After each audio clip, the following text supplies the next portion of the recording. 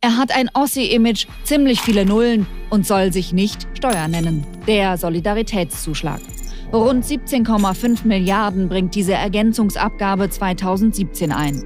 Das sind etwa 2,4 Prozent aller Steuereinnahmen. Viele Deutsche glauben, das Geld fließe komplett in den Aufbau Ost. Stimmt nicht. Das Geld fließt in den Bundeshaushalt und ist nicht zweckgebunden. Heißt, es kann da ausgegeben werden, wo gerade ein Loch gestopft werden muss. Sei es für marode Straßen, Renten oder zur Flüchtlingshilfe. Übrigens, der Soli war ursprünglich überhaupt nicht für den Aufbau Ost bestimmt. Die Regierung Kohl führte ihn 1991 zur Finanzierung des Irakkrieges ein.